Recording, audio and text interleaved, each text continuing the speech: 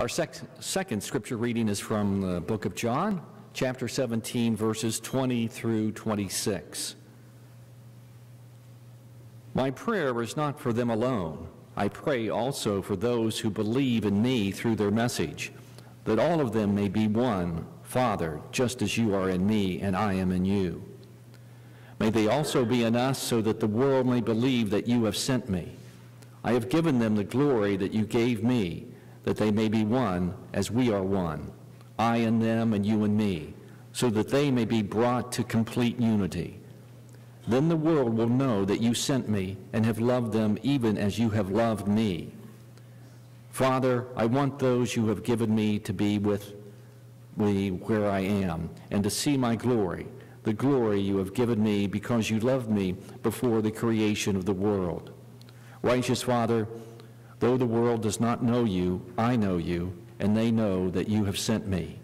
I have made you known to them and will continue to make you known in order that the love you have for me may be in them, and that I myself may be in them.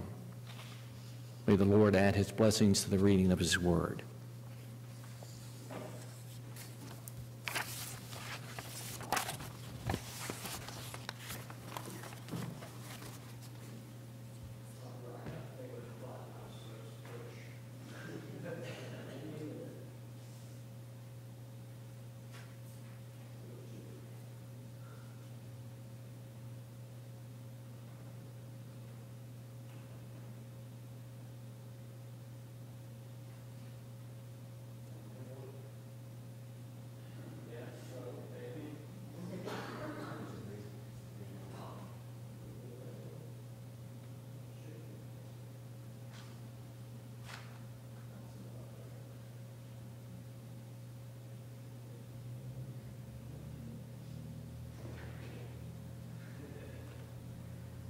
When I started,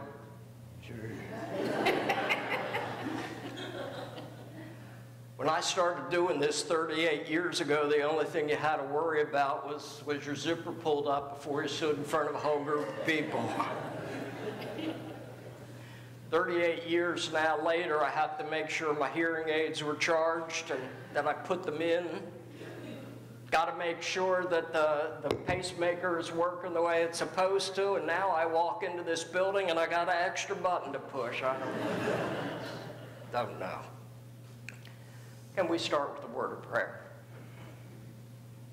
Lord God, because of me or in spite of me, I ask that you speak through me.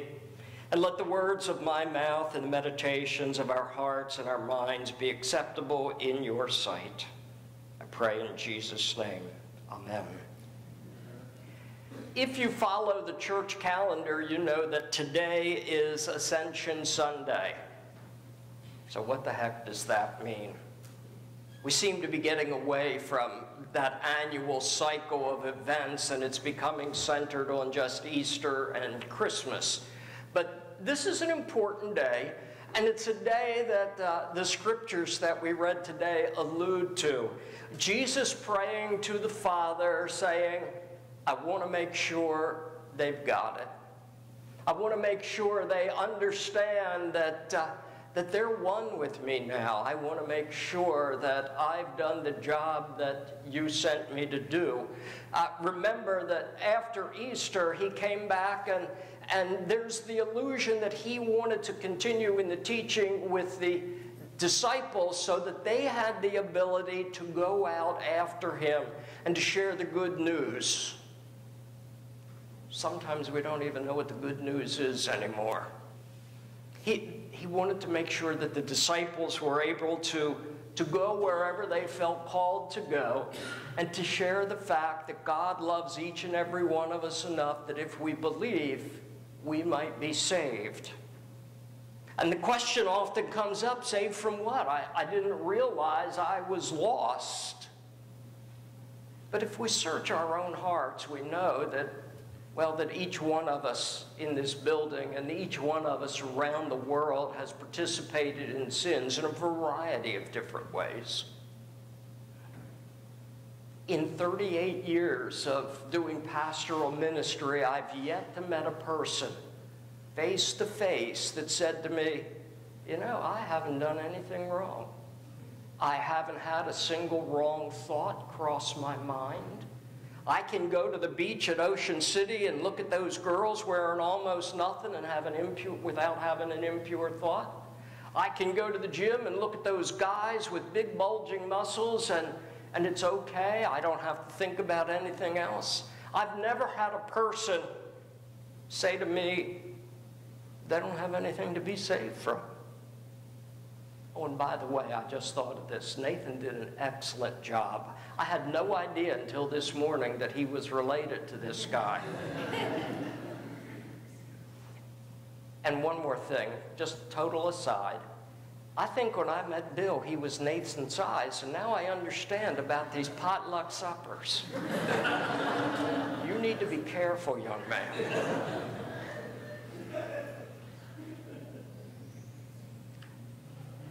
Were any of you born, I guess some of you were born before me. You, how many were alive in the 70s? it's not a hard question. now, how many of you remember the 70s? There's, there's more hands. Some of you weren't listening. Usually hands drop at that point and I make a inappropriate joke about why we don't remember them. But I won't do that today. In, in 1972, because I'm being high tech now. My wife taught me this last night. In 1972, there was a, a, song that came out. It was a popular song. It was written by a guy named Gilbert O'Sullivan. You remember Gilbert? A couple of you do. He was an Irishman that came to the United States, and he had four or five hits in the 70s. And he wrote one called Alone Again Naturally. And it goes, I'm going to just read parts of it.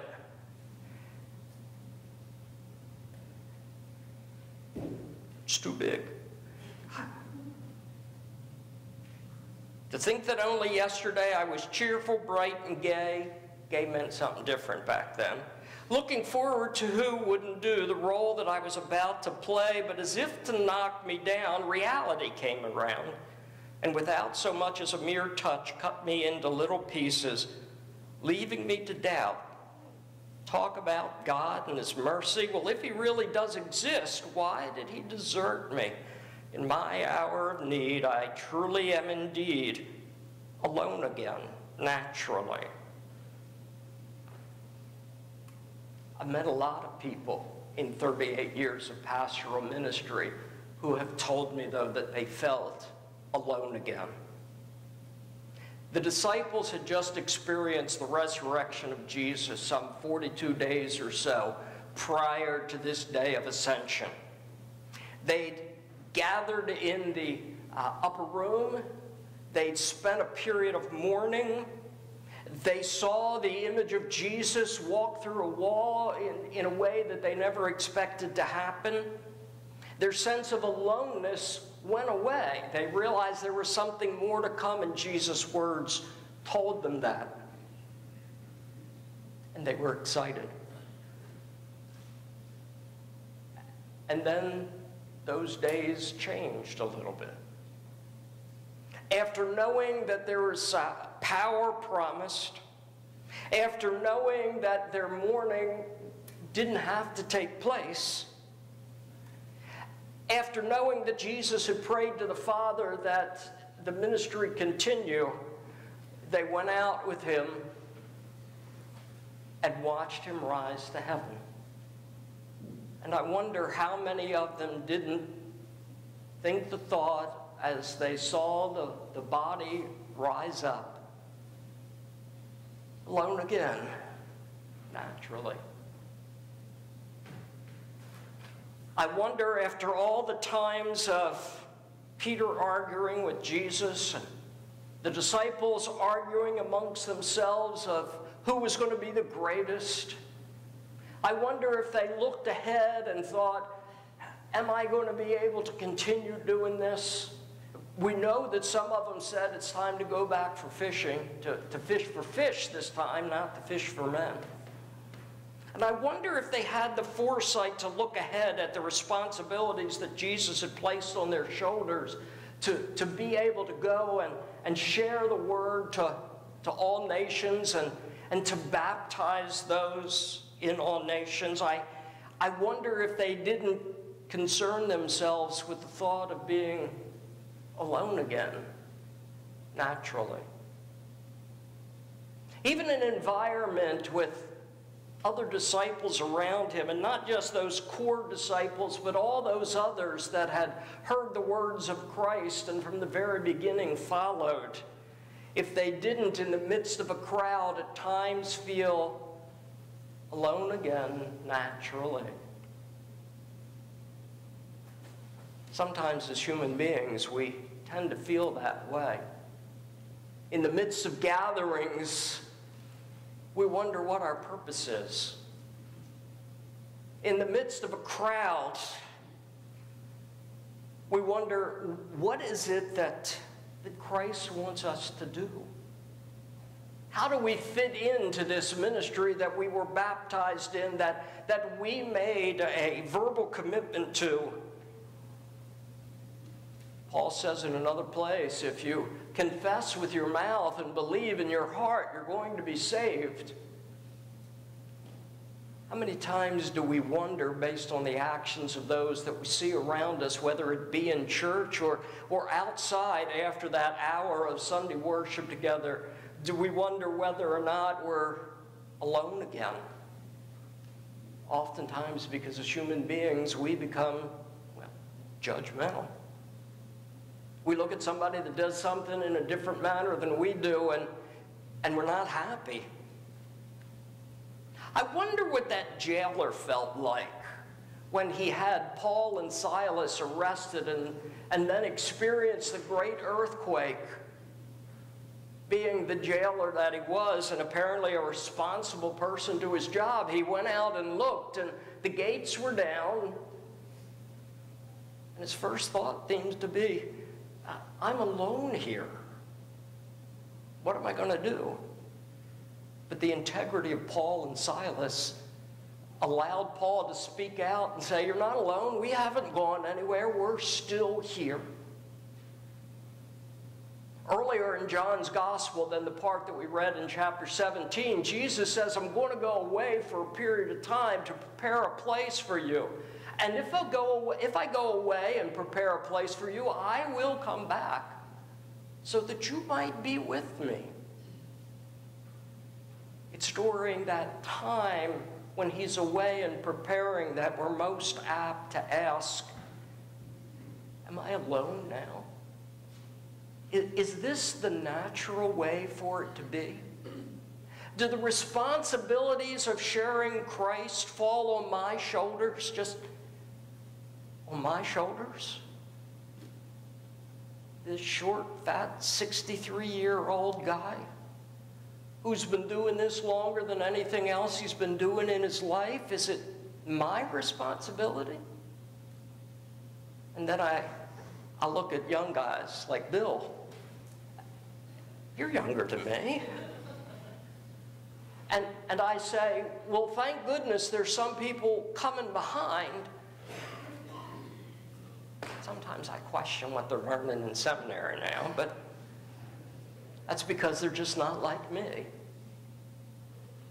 And I know that I'm not alone because there's others out in the field doing the work, telling the jailers, don't be afraid, because what you need to do to be saved is really simple. It's to believe in the Lord Jesus Christ. Now, I take it that some of you guys just went through confirmation? Yeah, okay. And, and were you told that the only way to be saved was to go through confirmation? Good. well, because sometimes as, as religious organizations, we put all of these extra requirements that you don't find anywhere in the scripture. And then it gets to that point of making a decision, and you wonder, do I really want to go to six weeks or 36 weeks or 50? I have no idea which material you use. Nine weeks? Okay. Nine months. Gosh, I'd be Baptist. Um, I didn't say that. Do I really want to commit that much of myself? Do I really want to go out into the world and have responsibility for others? When somebody said, Am I my brother's keeper at the beginning of the scripture, you remember the Cain and Abel story? You remember that? Do I really want to be my brother's keeper or my sister's keeper? That's a lot of work. That's a lot of. Do I really need to come to church every Sunday? IHOP's right down the street. Make good pancakes in the morning. Do I really want to put a tenth of everything that I earn in that offering box in the back? I'm amazed you guys have the faith to do that and are able to meet your budget. That's just a wonderful thing. Do I want to commit who I am before I can accept the love of Jesus Christ? You don't have to. You don't have to. When the jailer asked, What do I need to do to be saved? Paul told him, That's it.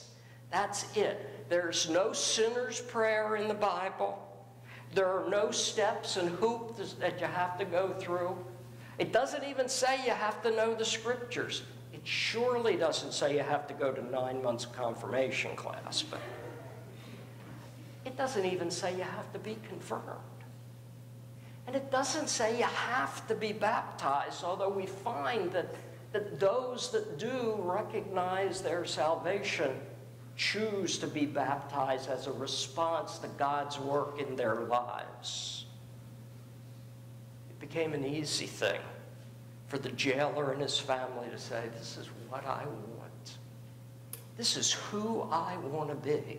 Not alone again, but with a group of people that spans the globe, that know that Jesus loves them not because of what they do, but because He created them. Not because of who they might be, not because of the car they drive or the house that they live in, not because of which other charities they participate in, but because they recognize that Jesus Christ is the Savior of the world. And surely He loves us all because He's the only one that can create us all and did do that. In our times of despair, which if I had read all the words to that song, even if that despair leads to the point of thinking about taking ourselves out of this world, if you know that song, you know it's about a guy that was jilted at the altar by his girlfriend and he thinks he's going to do something for himself. And the second or third line says, I think I'll go visit a nearby tower. Well, that seems like weird words. And jump off because I'm so alone. We don't need to be that alone ever because surely as God is with us and surely the Holy Spirit nurtures us. And surely Gilbert's words were wrong we never have to be alone naturally.